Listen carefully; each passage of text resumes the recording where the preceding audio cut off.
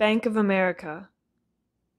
Not Bank of America, but Bank of America.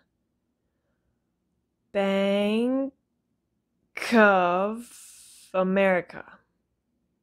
Bank of America. Bank of America.